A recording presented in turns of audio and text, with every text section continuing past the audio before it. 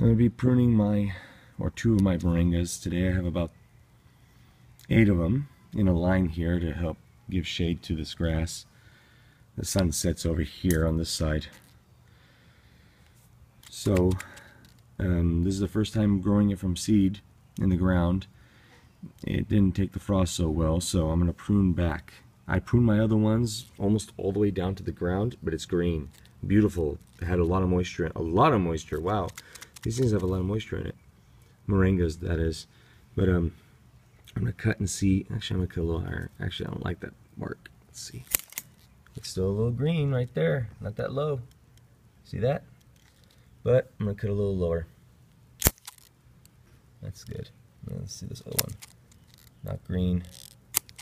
Not green. Oops, didn't get didn't get a good cut there. Green. Let's see. Yeah, not as green. Yeah, a little better. So now, now I'm gonna put honey on it, on those uh, cuts. So they look pretty good. Daddy, So hopefully, there goes my son. Robots. Okay, I'll go there in a second. So, alright guys, have fun. Moringa is a uh, known as a miracle tree. It's amazing. You want to say bye? Daddy, Alright.